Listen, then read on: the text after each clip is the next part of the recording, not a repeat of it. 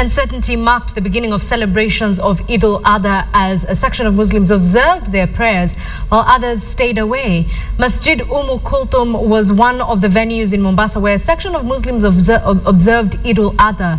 Those who marked the celebrations today went with the sighting of the new moon in Saudi Arabia, while those who stayed stuck with the advice of the chief Qadi who announced that Wednesday would mark the Eid celebrations.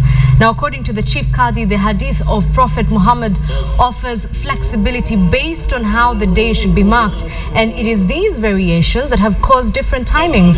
But now, Qadi feels time may be ripe for a unified announcement by one person in the country.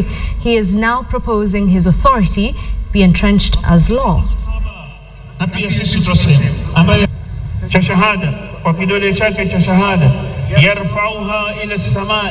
the coming generation uh, from these uh, arguments. They are legal arguments, they are good, but the other, the other way around, I mean, it is bad because people they think that, I mean, Muslims are, are divided.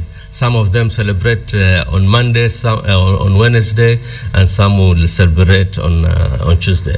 ikiwa wewe utachukulia kwamba siku inaanza saa sita usiku midnight, uh, basi unaleta uh, matatizo katika his, uh, hisabu hii ya siku, kwa sababu ikiwa unasema leo ni Jumanne mpaka saa sita usiku ni Jumanne alafu saa sita usiku baada ya saa sita ni Jumatano inaanza. Usiku moja inakuwa na siku mbili, ina Jumanne na Jumatano. Kiislamu sivyo.